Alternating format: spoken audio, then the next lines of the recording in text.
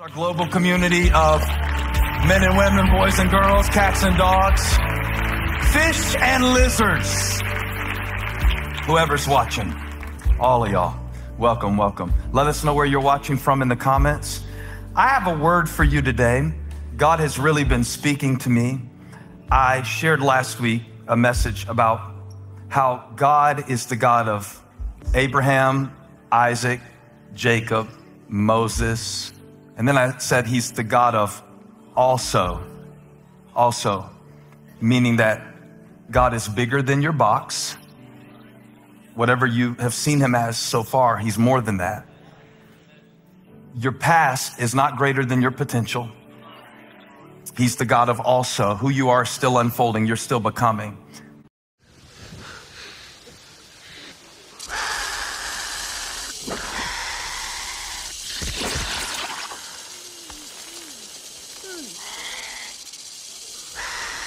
Thank you.